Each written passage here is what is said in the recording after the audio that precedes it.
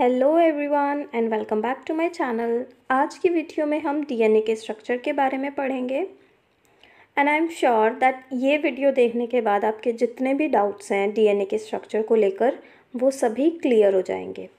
ठीक है स्टिल अगर कोई डाउट होता है तो आप मुझसे कमेंट सेक्शन में पूछ सकते हो। तो चलो स्टार्ट करते हैं।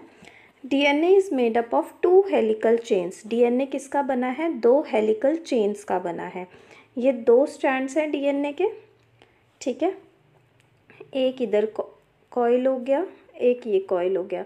जब दोनों स्ट्रैंड आपस में कॉइलिंग करते हैं तो वो क्या बना लेते हैं? हेलिकल स्ट्रक्चर बना लेते हैं। तो डीएनए किसका बना है? टू हेलिकल चेन्स का। एक ये ये वाला स्ट्रैंड हो गया, एक ये वाला स्ट्रैंड हो गया। ठीक है?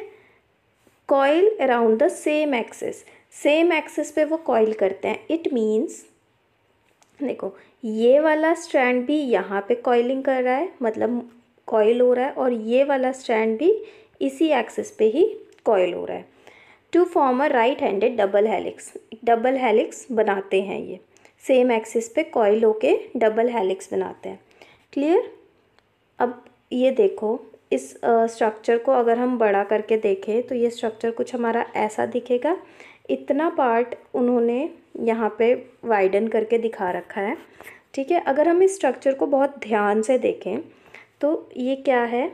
फॉस्फेट ये शुगर ये फॉस्फेट ये शुगर ये फॉस्फेट ये शुगर ये फॉस्फेट ये शुगर ठीक है? ये आपस में क्या है? कनेक्टेड है. और हर शुगर के साथ क्या अटैच है? एक बेस अटैच है. ठीक है? ये हम पढ़ते भी आ रहे थे कि जो डीएनए है वो तीन कंपोनेंट से मिलकर बना है। क्या क्या phosphate nitrogenous base and sugar clear देखो अगर हम इसको सिंप्लीफाई uh, करें स्ट्रक्चर को तो ये कुछ हमारा ऐसा बन जाएगा। Phosphate sugar phosphate sugar phosphate ठीक है? और हर शुगर के साथ क्या अटैच है? बेस अटैच है। जैसे ये हो गया एडिनिन और ये हो गया हमारा थाइमिन क्लियर अब इसी स्ट्रक्चर को हम और सिंप्लीफाई व्यू में और अच्छे से समझते हैं। देखो, ये रहा। ये हो गया हमारा फॉस्फेट ये हो गई हमारी शुगर और ये हो गया हमारा बेस अटैच ठीक है? इस एक फॉस्फेट शुगर और बेस को हम क्या बोलते हैं? इस एक स्ट्रक्चर को, इस एक मोनोमर को हम बोलते हैं न्यूक्लियोटाइड ठीक है? तो पॉलीन्यूक्लियोटाइड की चेन है। मतलब ऐसे ही बहुत सारे न्यूक्लियोटाइड मिलके क्या बनाते हैं? डीएनए बनाते हैं। समझ गए? एक को बोलते हैं न्यूक्लियोटाइड और बहुत सारे हो गए पॉलीन्यूक्लियोटाइड तो DNA is a chain of polynucleotide clear अब देखो। यहाँ पे और क्या है इस स्ट्रक्चर में? फॉस्फोडाइएस्टर बॉन्ड दो न्यूक्लियोटाइड एक न्यूक्लियोटाइड हमारा ये हो गया। ठीक है? और एक न्यूक्लियोटाइड हमारा ये हो गया। ये दोनों ही न्यूक्लियोटाइड आपस में जिस बॉन्ड से कनेक्टेड रहते हैं, उसको हम फॉस्फोडाइएस्टर बॉन्ड बोलते हैं। ठीक है? और बेसिस के बीच में, जैसे यहाँ पे साइटोसिन और ग्वानिन है तो बेसिस के बीच में जो बॉन्ड बनते हैं, जो दोनों को, दोनों स्ट्रैंड्स को जोड़ने का काम करते हैं, वो कौन से बॉन्ड्स होते हैं? हाइड्रोजन बॉन्ड्स होते हैं। There is a phosphate present between five prime carbon of one यहाँ पे शुगर आएगा, ठीक है? And three prime carbon of adjacent sugar देखो, ये हमने अभी देखा कि शुगर और ये फॉस्फेट शुगर फॉस्फेट ये आपस में कैसे कनेक्टेड रहते हैं, ये हम इस से समझेंगे कैसे। देखो, ये हमने देख लिया कि ये फॉस्फेट है शुगर है फॉस्फेट है शुगर फॉस्फेट ठीक है? दो शुगर्स के बीच में क्या प्रेजेंट है? एक फॉस्फेट प्रेजेंट है।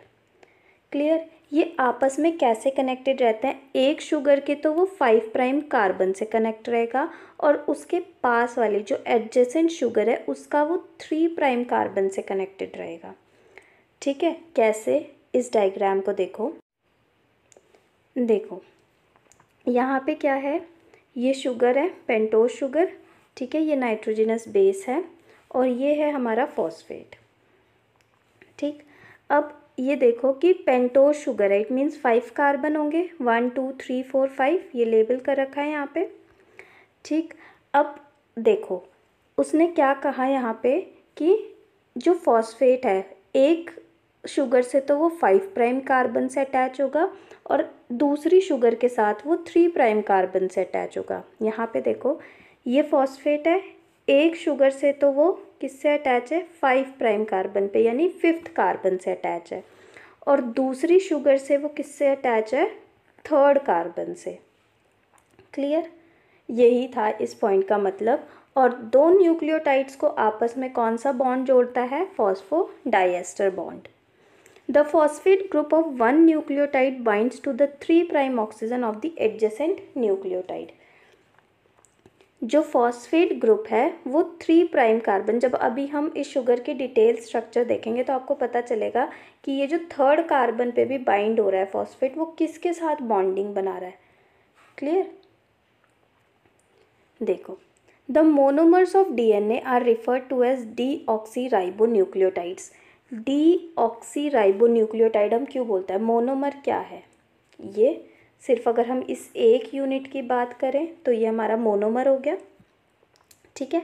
डीएनए के एक मोनोमर को हम क्या बोलते हैं? डी ऑक्सी न्यूक्लियोटाइड क्यों बोलते हैं deoxyribonucleotide due to the presence of deoxyribo sugar inside them इसलिए बोलते हैं क्योंकि उसमें D oxy ribo sugar present होती है। देखो, ये राइबो शुगर है, ये डी ऑक्सी राइबोज शुगर है। डिफरेंस कहाँ पे दिख रहा है? सेकेंड कार्बन पे।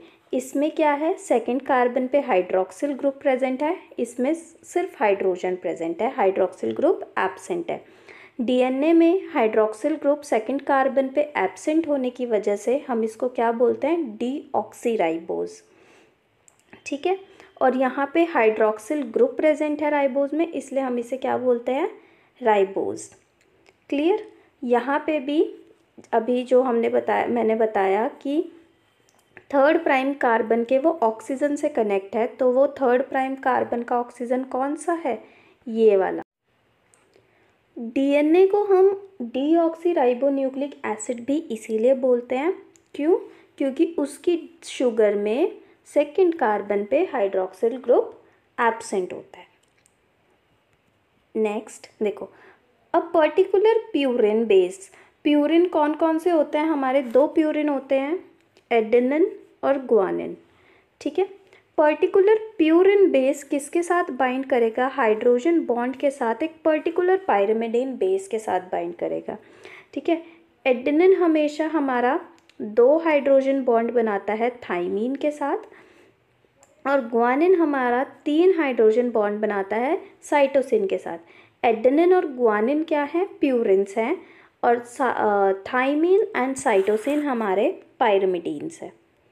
क्लियर एडेनिन और ग्वानिन प्यूरिन और पायरामिडीन्स हम क्यों बोलते हैं? एडेनिन और ग्वानिन में अगर इनका स्ट्रक्चर देखें, जो मैं इंट्रोडक्शन में बता चुकी हूँ एडेनिन और ग्वानिन में डबल रिंग्स प्रेजेंट होती हैं, जबकि थाइमिन और साइटोसिन में सिंगल रिंग प्रेजेंट होती है। The distance between each turn is 3.6 nanometer each turn her turn के बीच में जो डिस्टेंस होता है, वो कितना होता है? थ्री पॉइंट सिक्स नैनोमीटर का। देखो, एक टर्न ये रहा, दूसरा टर्न ये रहा। ठीक है? इन दोनों के बीच का जो डिफरेंस होगा, वो कितना होगा? Three point six nanometers there are ten point five nucleotides per turn her turn में हर टर्न के बीच में कितने न्यूक्लियोटाइड्स प्रेजेंट होंगे? Ten point five nucleotides. It means कि अगर हम सिर्फ़ इस टर्न की बात करें तो इसमें कम से कम अगर मैं इसको ड्रॉ करूँ वेट देखो, ये ऐसे हो गया, ये ऐसे हो गया। तो ये एक टर्न हो गया बीच का। इसमें कम से कम कितने न्यूक्लियोटाइड्स प्रेजेंट होंगे? एक टर्न पे टेन न्यूक्लियोटाइड्स प्रेजेंट होंगे। समझ गए? Regularity of helical structure forms repeating and alternating spaces called major and minor groove. जो ये हेलिकल स्ट्रक्चर होता है डीएनए का, वो दो दो टाइप के स्पेसेस का फॉर्मेशन करता है मेजर ग्रूव और माइनर ग्रूव कैसे? देखो, ये हेलिकल स्ट्रक्चर है डीएनए का, ठीक है?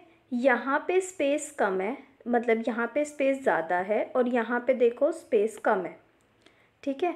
तो जहाँ पे स्पेस ज़्यादा होता है, उसे हम मेजर ग्रूव बोलते हैं। जहाँ पे स्पेस कम होता है, उसे हम माइनर ग्रूव बोलते हैं।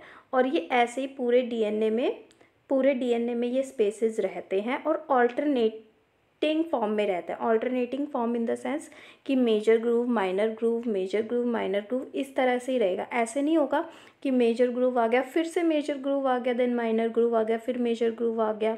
फिर से मेजर ग्रूव आ गया। ऐसा नहीं होता। ऑल्टरनेटिंग फॉर्म में ही रहते हैं कि मेजर ग्रूव फिर minor groove major groove minor groove clear these groove acts as base pair recognition and binding site for protein इस पॉइंट को समझने के लिए ना, जब आप आगे वीडियोस देखोगे तो वहाँ पे ये पॉइंट ज़्यादा अच्छे से समझ आएगा।